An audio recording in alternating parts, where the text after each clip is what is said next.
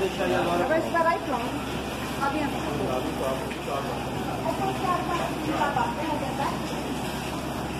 Ó, só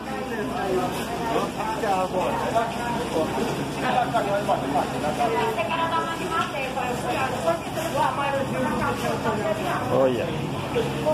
Mercadinho Daniel Peixu.